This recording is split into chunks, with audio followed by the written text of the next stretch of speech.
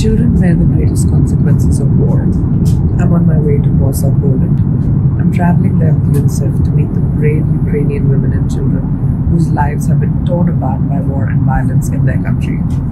Now, although the story is fading from the news, but the facts are still very newsworthy.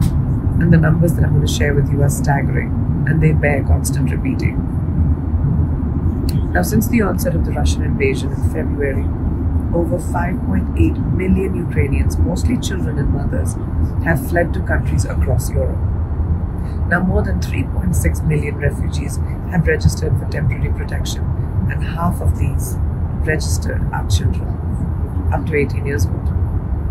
Now, within Ukraine, over 6.3 million people remain displaced by armed conflict. This is the largest human displacement crisis in the world, and the consequences of this will last for many generations.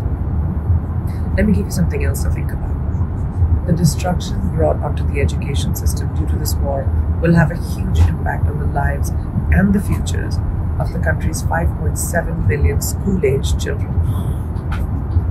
The estimated 2.2 million Ukrainian children who have sought refuge in neighboring countries need every opportunity to continue their learning, and that can be through multiple pathways schools, distant learning, catch up, language classes. As these numbers have shown us, the war in Ukraine has created a child rights and refugee crisis. This situation is not of their choosing, and yet they're the most affected. Every child, no matter where he or she is born, deserves the same fundamental right the chance to survive, to be educated, and to be protected. I'm going to be meeting the courageous mothers and children who have had to flee their homes and will be sharing their stories with you over the next three days.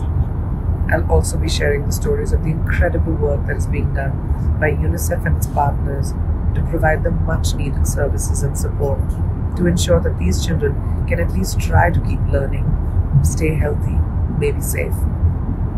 To help them handle the stress and trauma and the fear that they've experienced, to help them heal from the invisible wounds of war. Please follow along with me because this crisis is far from over.